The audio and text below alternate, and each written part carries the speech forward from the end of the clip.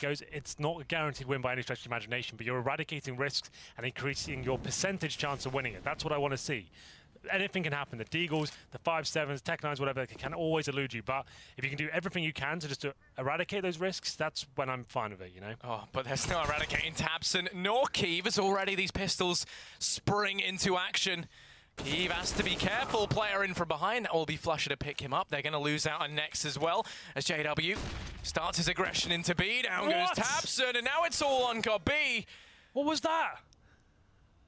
Running in, throws his orb away, and sees CZ someone, just bodies on the site. That's so